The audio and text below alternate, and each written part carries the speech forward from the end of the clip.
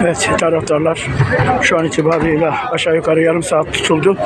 Yarım saatin ardından şu an itibariyle taraftarlar yavaş yavaş evet, geldikleri otobüslere, minibüslere e, güvenlik açısı çerçevesinde bir bir dolduruluyor.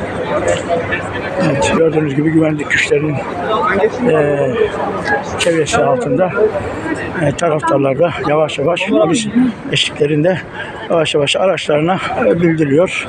E, aşağı yukarı yarım saat kadar bir e, tutuldu güvenlik adından. Daha sonra da pazara hareket edilecek.